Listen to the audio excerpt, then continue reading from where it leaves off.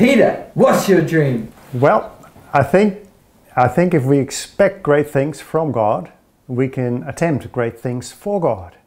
And so my dream is that we can go out into this world and be a light and shine and proclaim the love of God to this world. That's my dream. Thank you, man.